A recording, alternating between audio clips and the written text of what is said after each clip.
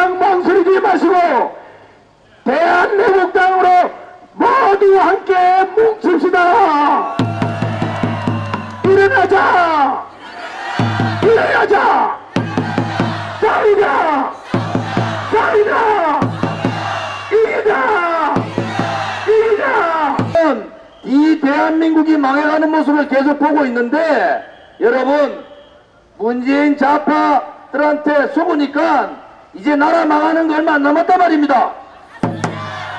여러분 한번 따라 해볼까요? 문재인 씨 100일 동안에 했는 일 한번 따라 해볼까요? 인사참사 외교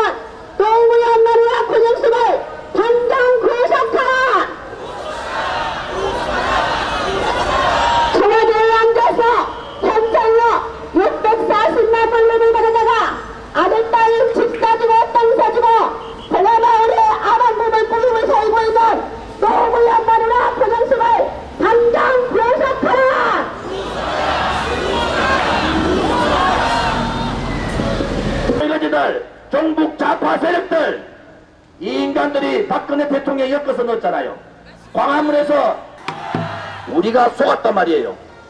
여러분들 잘 들으셔야 됩니다. 여기에 태극기 들고 온 분들이 시간이 없어서 어? 쩔쩔매는 분들인데 태극기 들고 나오는 이유가 뭔지 아세요?